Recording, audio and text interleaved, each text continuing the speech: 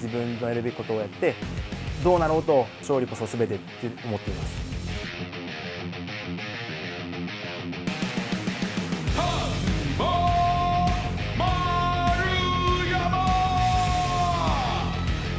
で動くと面白いですけどね。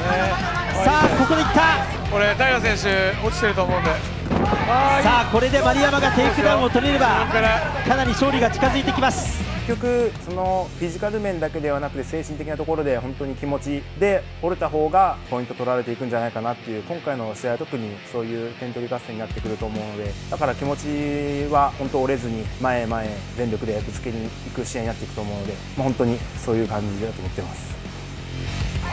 もう一回パンチ。左入った右。左。右。よく最後まで立ってましたねカルナックアウトすごい試合でしたね。まあもちろん強さもあると思いますけどこの相手に負けるようじゃ自分はこの先本当ないなと思ってるっていうかここは圧倒して勝たないといけないところだと思います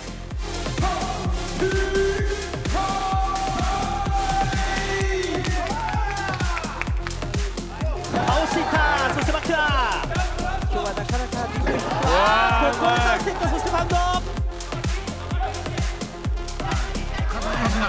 れもらい出したらよくないですよこのパンチが冷静に繰り出しています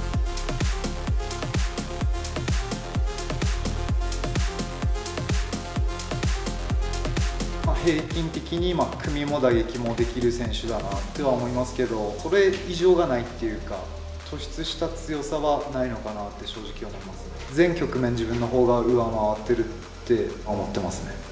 まあ、本当その通りだと思います。でそこの平均的なってところの見方が相手も僕のことを分かってないっていうところがあると思うんでそこの底上げっていうところは自分はこの期間でかなりできていると思います。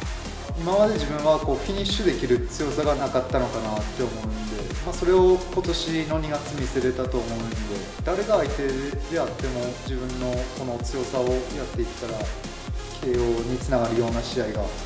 できると思うんで自分の強さを見せていきたいいきたいなと。思ってますゲーム的に作るのも葛西選手上手なんでそこで自分も自分の持ち味を生かして決められるときはもちろん打撃でも決めにフィニッシュを狙いに行くしテイクダウンを取って、まあ、1本、まあ、その時フィニッシュが狙われたらもう自分はそこを狙いに行って完全決着をしっかりやりたいと思っています。